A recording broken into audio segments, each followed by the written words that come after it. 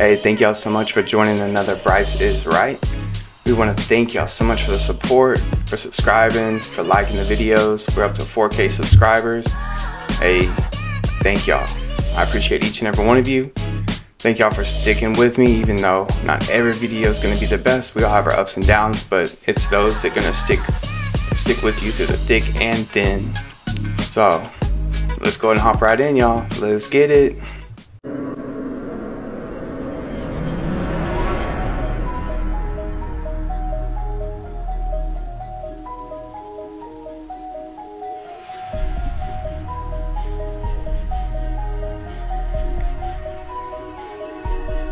What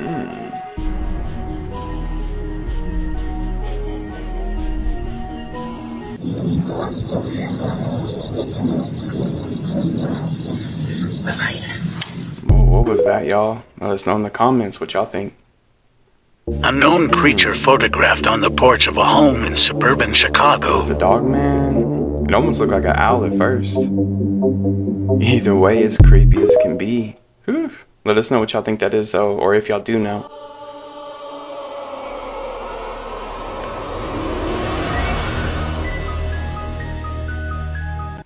Among the things I found, there was an Excel spreadsheet entitled Non-Terrestrial Officers, which I took to be a space-going fleet made of human personnel, not aliens. It did list their names I couldn't find on the internet at the time. There was also a list of ships, and I googled the ship names, there were no matches. So I knew they weren't ocean-going vessels. My more recent conclusion is that some of the trillions of dollars of money have been used to take the technology we have discovered and build gravity control devices that we would see sometimes as UFOs. So, if you look in the sky now, in my opinion, it's 50-50 chance that it's ours Wow. versus theirs. This is a real picture taken deep under the sea. A skeleton is tightly tied to the iron frame with wire ropes. What's the matter? This snorkeling enthusiast went diving in a sea area in Minnesota. What he discovered next frightened him. There is a stone standing on the bottom of the sea. Written on it are names and years limit. Interested friends can check this name. Next to the stone lies a lobster with a mask. An engine-like machine and a speedboat were also found nearby. There is a lot of sediment deposited on it. The glass windows on both sides of the speedboat have all been shattered. There is no clutter in the cockpit. It looks like it has been carefully cleaned. Another platform I don't care what anybody says. Seeing that skeleton with the wire around its neck underwater, that's gonna build some nightmares for some of y'all. Form was found next to the speedboat. There is a lawnmower neatly placed on it. The appearance of this object is difficult for me to understand, but later I checked the character stories. But it seems reasonable, not far from the platform. He found another pile of debris. The sediment here is heavier. The original appearance has been covered. This should be a machine like a snowmobile. This is a weird-shaped skeleton tied to an iron frame with steel wires. It's like having two wires wrapped around a transformer. The skeleton's hands are bound. His teeth were biting the tape that bound him. On the bow of a wooden boat stands a skeleton holding a flagpole. He's dressed like a pirate, wearing an eye patch on his left eye, as if directing the ship to move forward. A skeleton riding a bicycle dragged a luggage trolley behind him.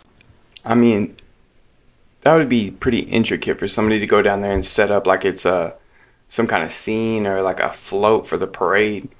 I mean, it would take some time for divers to go down down there and do that. Ah, what do y'all think about this? Let me know down in the comments. I'll let, we'll get back to the video. but the luggage has disappeared. Lying in the middle of the boat, his hands were raised above his head, like randomly placed items. But who would place these on the bottom of the sea? What is going on here? Leave your thoughts in the comment area. Yeah, like DJ Khaled late.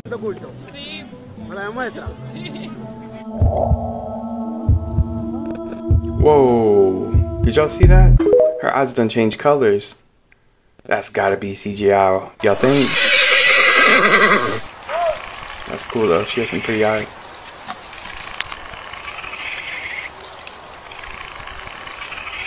Ooh, look behind that tree to the right. Oh no! Look like a straight skeleton.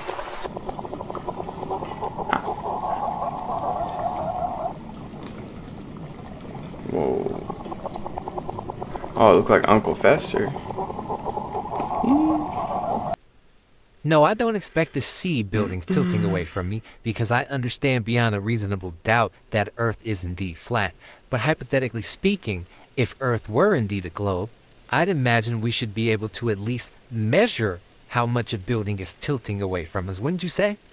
I mean, even if we couldn't see this supposed tilt with the naked eye, we should be able to measure it by measuring the distance between two buildings from top to bottom, right?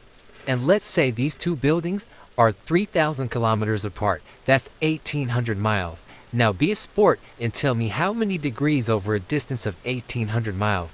Then post some evidence showing me that structures do indeed tilt the further you get away from them. Measurements were done of the bases and tops of two buildings, one in Torres, Rio Grande do Sul, and another in Natal, Rio Grande do Norte, 3,050 kilometers apart from each other. According to the theory of the spherical Earth, the distance of the measurements of the bases must be different than the measurements of the top, even in a few meters. But if the measurements are equal, this would show that the Earth has no curvature. Remembering the opinion of the INCRA engineers before the experiment, probably that will be in relation to the extension of this line perpendicular to the baseline. I believe it will be longer.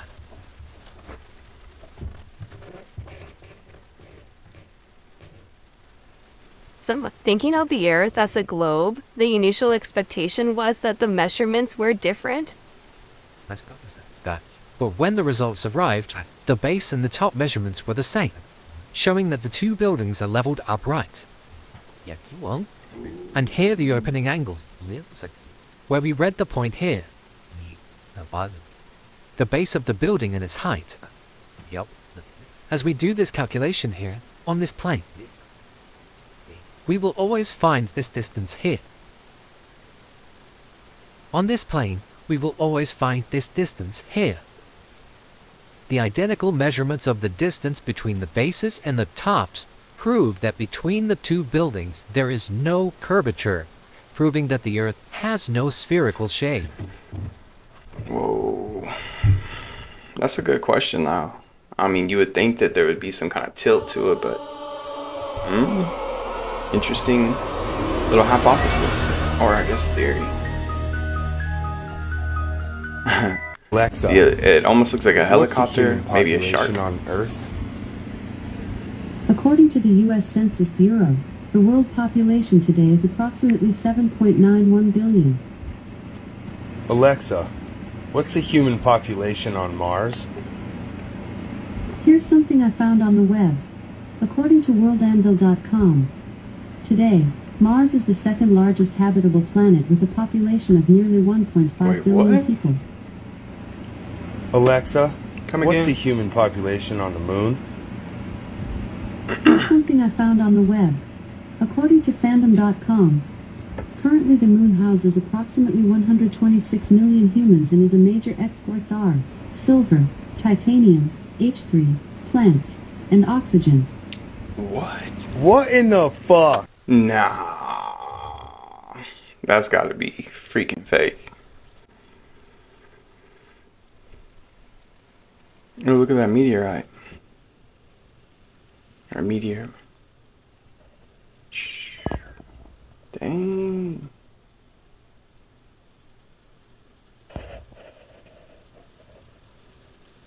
It almost looks like it's slowing down though. Huh.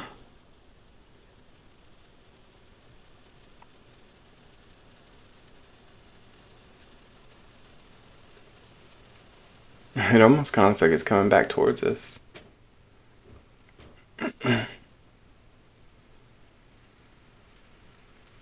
Wait a minute. What? Superman done caught it and said, I'm saving the day.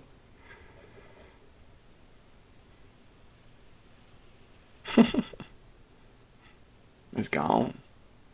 You done chunked it out. No, no. There it is.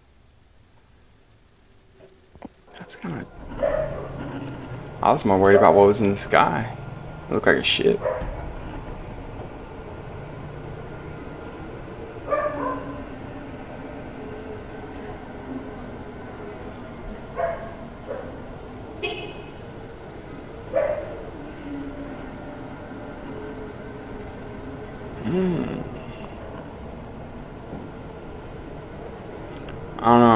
Mean, y'all think it's just the angle?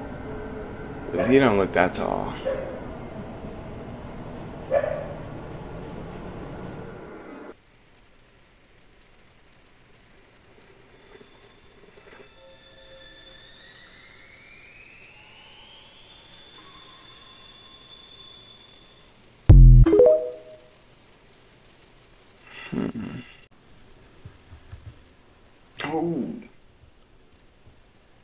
Dang. How about had a mind of its own? Oh.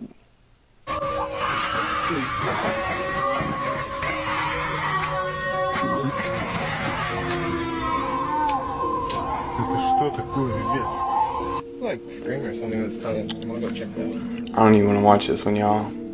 Y'all can watch it on y'all's own. No, I'm just kidding. It's still, oof. Don't let there be something that jumps out.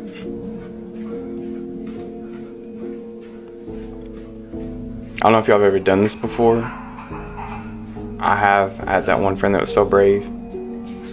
So creepy. Oh, oh hell no. Oof. I hate getting goosebumps. Mm. Stay out of those tunnels, y'all. What the fuck was that? On them daywalkers.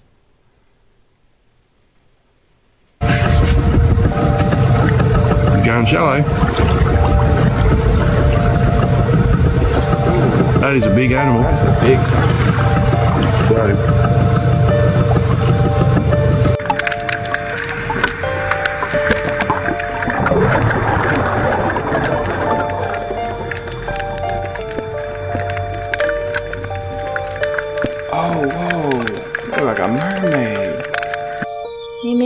ơi, That was a Mimi pretty good looking lên cho con. mermaid.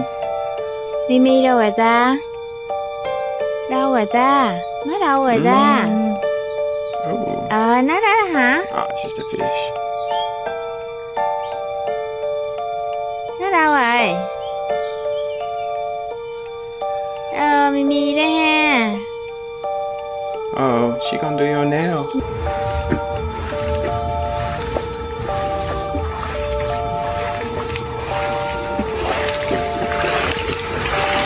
could have killed me. What was that? Maybe something stuck to it and it's pulling it. That was weird. That's a fucking weird. Oh come on, man! Don't mess with that thing. Ooh, ooh! He said, "I'm gonna get you."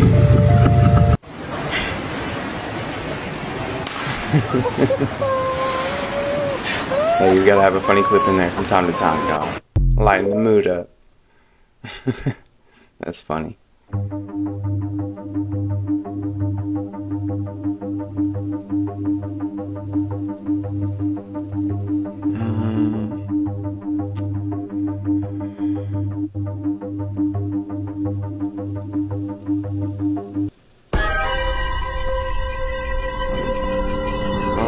Frozen fish.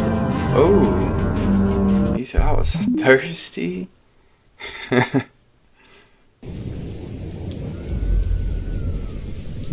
Ooh, it looks like a big hand or something. Oh. oh my goodness. I didn't see that the first time I, I watched part of this clip.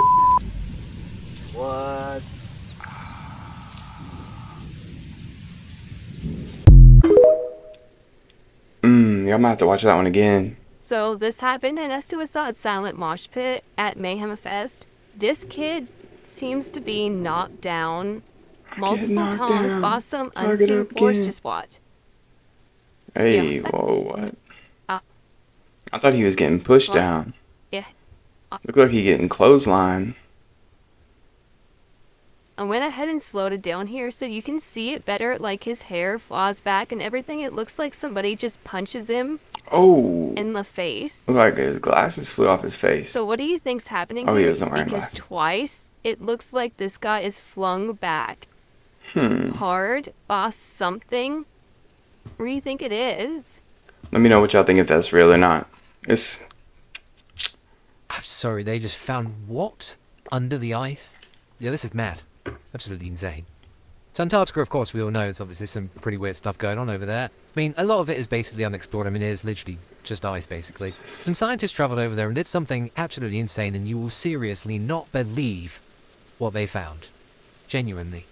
In this place, there is obviously a lot of ocean and sea, so I mean, there's bound to be a lot of species that we've never heard about or ever, ever see. We could probably never even imagine half the stuff that's there. The scientists went to this area and had this tiny little camera which they were basically going to stick right under the ice. But first of all, they dug an extremely deep hole into the ice, and then they put this little camera down it. Now this camera is literally 5 millimeters big, so I mean, you're not really going to see much on that. But it went all the way down to nearly 3,000 meters. Bloody miles under the ground, Jesus!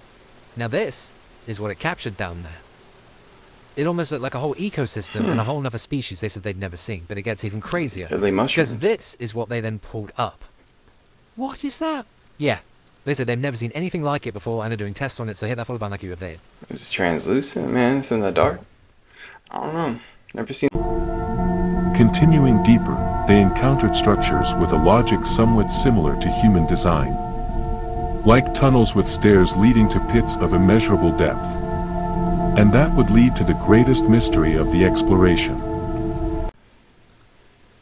Hey, y'all let me know. These pictures and clips aren't from a movie or anything, is it? Just let me know down in the comments. I appreciate it. We'll get back to it. Metal doors with seemingly organic seals from which small samples were taken. These proved impossible to open, although no attempt was made by force to avoid any risk.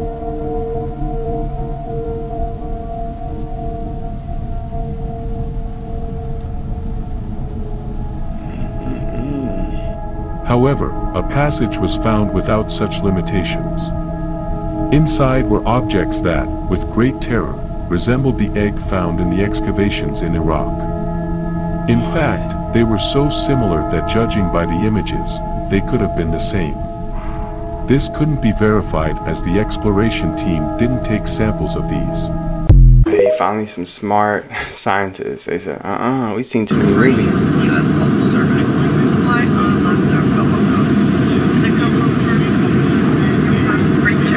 Here we go. There's that planet. Of course, most of us say that there's two suns, but we're finding out that the planet is starting to be more visible.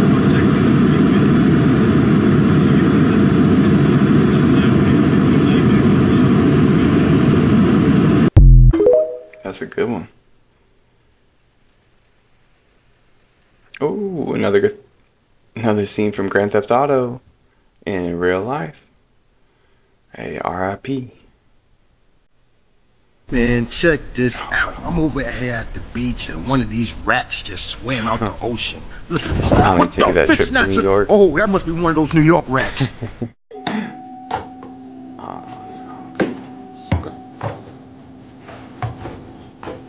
Are they clean? Yeah. Oh, hell no. That was like a freaking beaver. I've heard these stories, but um, Joey Diaz goes right. It's a humongous rats. Wait, what? Oh no. What you got? You got five dollars? You got Lucy. Nope.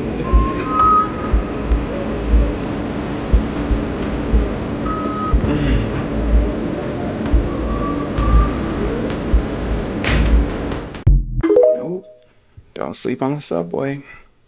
So, um, you know, I hope everyone will get your new book. You talk about parallel words, worlds, black holes, wormholes, time travel, all these questions people have. One thing um, that a lot of people are talking about lately, and NASA even now has a head of, U- of UFOs, right? Congress has a hearing uh, on, on UFOs. And so people are talking about UFOs and aliens in, in a more serious way than, than, you know, being on the front of the National Enquirer, the way it used to be. Um, so a Mexican journalist displayed bodies of two supposed non-human beings uh, in, the, in, Mexico, in front of the Congress in Mexico, okay? Okay, so I'm starting to really believe what y'all say about Neil deGrasse Tyson. He was working for the media, or, you know, he's there to really give us this information because we all trust and believe him. But yeah, let me know what y'all think down in the comments. I appreciate it. I had to put this in here. I haven't seen it yet, but since we had this clip a couple videos ago, really twice, we're gonna see what they got to say. I'll be quiet for the rest of the video, y'all. Thank you. Um, each with three fingered hands and elongated heads. Now, uh, before we all mock uh, the video, right? Because it's gotten a lot of mocking. It looks a lot like ET. But as I said, NASA just announced for the first time a director of research on UFOs. So they are taking uh, this overall topic more seriously. What's your take on this?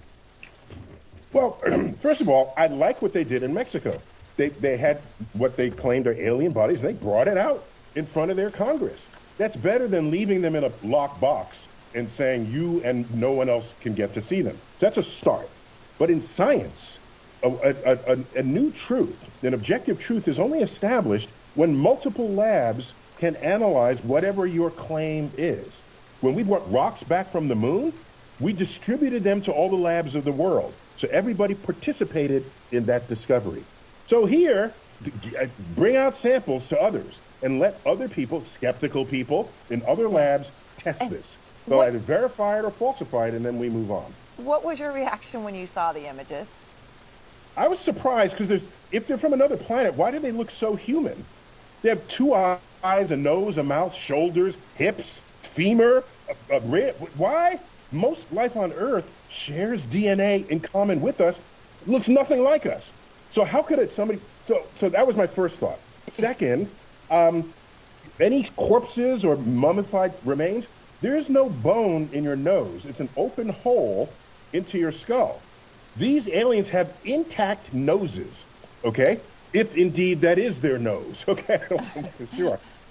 So, well, so I, that's odd after 2,000 years to still have a, a, nose with two with two cavities in it. So that's odd, but they should share it. That's how right. we that's how we determine what is true and what is not. All right.